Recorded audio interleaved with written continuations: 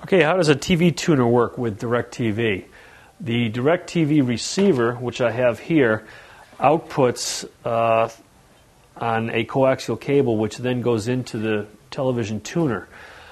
The TV tuner takes the signal from here, which is broadcast out of this jack on channel 3 or channel 4.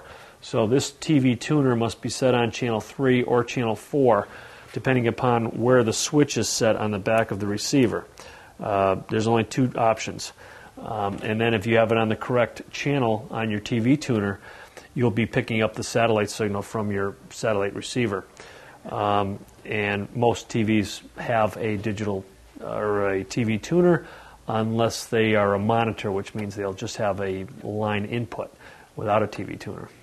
If you have a monitor and not a television, which means it doesn't have a tuner built in, you'd have to use the line output jacks on the uh, DirecTV satellite receiver to generate a picture on the TV.